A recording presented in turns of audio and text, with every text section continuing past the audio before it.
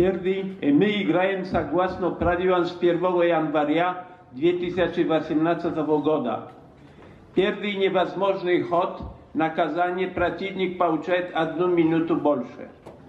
In the, we play according to laws of chess of 1st of January 2018. The first, im- first uh, illegal move will be punished only giving the opponent one minute. Second, illegal move is losing the game. Yeah, All arbiters can claim time is over. Все судьи могут сказать прос- о просрочке времени. Все судьи будут тоже считать 50 ходов. И можно их спросить в любой момент. All the arbiter will count 50 moves. So you can always ask arbiter how many moves it is. In some endings, of course. Well, I hope uh, we can start.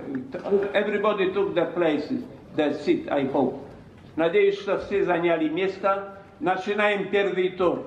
Черные нажимают кнопки часов. We begin the first round. Black press clock.